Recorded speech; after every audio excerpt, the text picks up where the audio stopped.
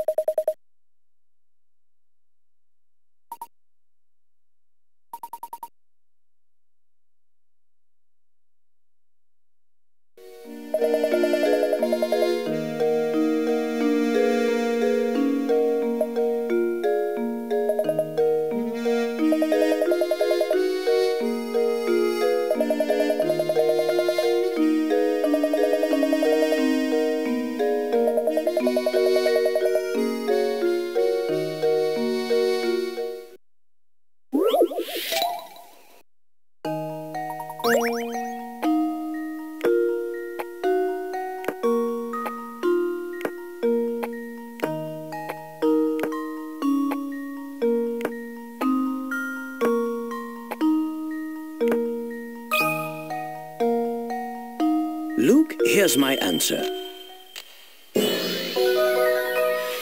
Another puzzle solved.